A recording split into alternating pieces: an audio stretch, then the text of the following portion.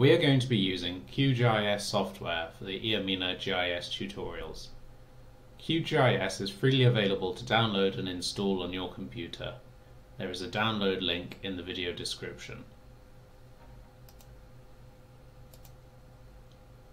QGIS 3.10 has been used to create these videos, but the tutorials should be relevant for any version of QGIS 3. Let me point out the main QGIS controls that we will be referring to repeatedly throughout these tutorials. This is the menu where we can access 13 different submenus, for example, Project. This is the toolbar where many of the most useful controls are found, including the map navigation buttons, the data source manager, and the edit button. This is the browser panel, where we can add certain types of data to our project. This is the layers panel that shows the different vector and raster layers that are currently added to our project.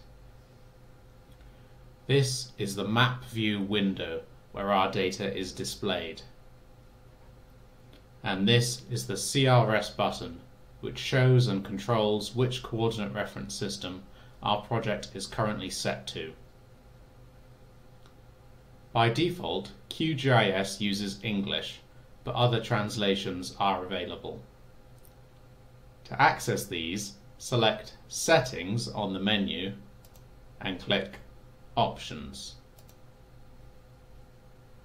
On the General tab, tick Override System Locale.